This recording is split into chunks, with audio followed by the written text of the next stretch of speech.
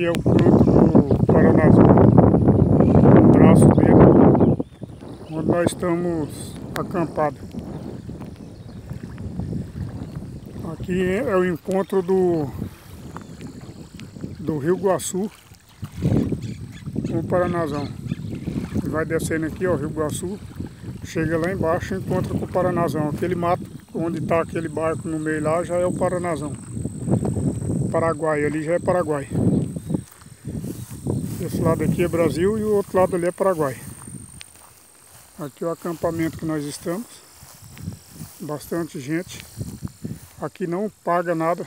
A gente chega, entra aqui dentro. Só cuida para não estragar nada, não, não fazer bagunça, não deixar lixo. E tudo organizadinho. E lá embaixo onde está vindo aquele barco lá é o Paranazão. Dá em torno de um, um quilômetro. Quilômetro mais ou menos já chega no, no Paranazão. Não dá nem um quilômetro, uns 800 metros. O que está matando aqui tem muita rede. Os pescadores aqui profissionais podem usar rede. Aí tem muita rede.